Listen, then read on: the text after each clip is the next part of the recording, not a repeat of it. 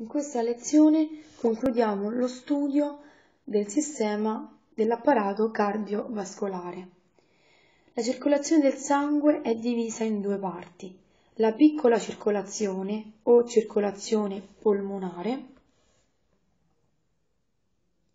e la grande circolazione o circolazione sistemica.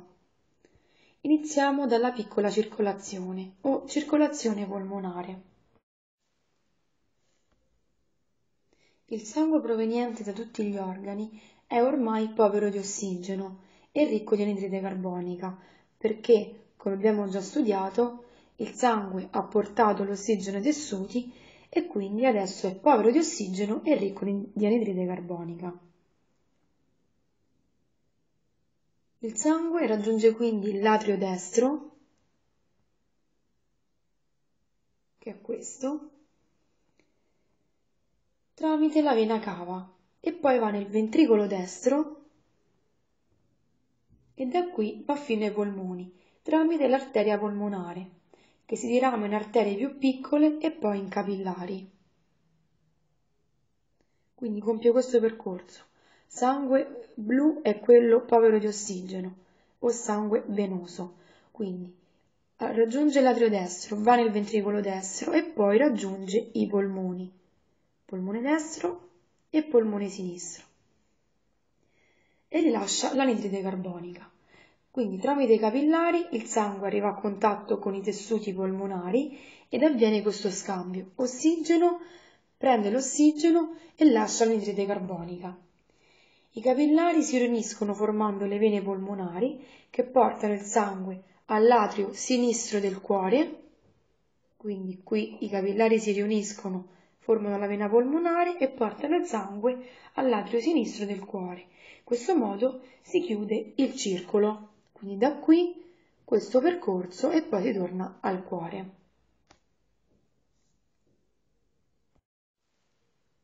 Passiamo adesso alla grande circolazione o circolazione sistemica. Il sangue proveniente dai polmoni è ricco di ossigeno che deve raggiungere tutti i tessuti. Quindi il sangue dai polmoni arriva nel ventricolo sinistro. Arriva qui. E qui parte l'aorta che si dirama formando una rete di capillari che arrivano fino alla testa e a tutti gli arti. Le coronarie sono le ramificazioni dell'aorta che portano ossigeno al miocardio tramite il sangue. Il sangue arrivato ai tessuti rilascia l'ossigeno e le sostanze nutritive e prende l'anidride carbonica e le sostanze di rifiuto. Il sangue torna quindi al cuore tramite la vena cava superiore e tramite la vena cava inferiore, che chiudono il ciclo portando il sangue all'atrio destro. Quindi il percorso della grande circolazione è dall'atrio ai tessuti e poi di nuovo al cuore. In queste video lezioni abbiamo studiato l'apparato cardiovascolare nell'uomo. Il sangue è caratteristico degli animali vertebrati. Negli organismi più semplici vi è la circolazione di un liquido nutriente. Ad esempio, negli organismi unicellulari abbiamo la circolazione che avviene tramite il movimento del citoplasma della cellula. Nei polpi e nelle meduse, che sono organismi molto semplici, il liquido vitale circola fra le cellule per diffusione. L'apparato circolatorio è necessario però negli animali più complessi ed evoluti. Ad esempio, negli insetti l'apparato circolatorio è aperto, ci sono dei vasi che portano il sangue da uno o più cuori alle cellule. Gli anellidi, ad esempio il lombrico, sono stati i primi ad avere un apparato circolatorio chiuso. Per quanto riguarda i vertebrati, l'apparato circolatorio di tipo chiuso. Nei pesci e nelle larve degli anfibi abbiamo il cuore con un atrio ed un ventricolo.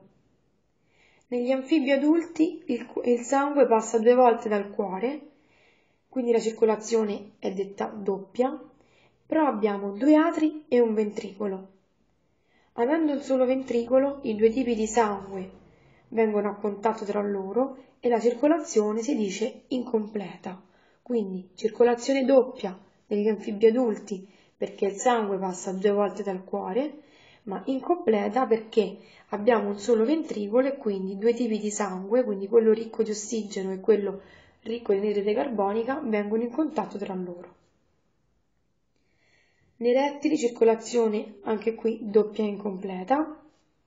In uccelli e mammiferi abbiamo il cuore con due metà e quattro cavità, come nel nostro caso. Quindi la circolazione è doppia e completa. Doppia perché il sangue passa due volte dal cuore e completa perché i due tipi di sangue non si incontrano, ma seguono percorsi diversi.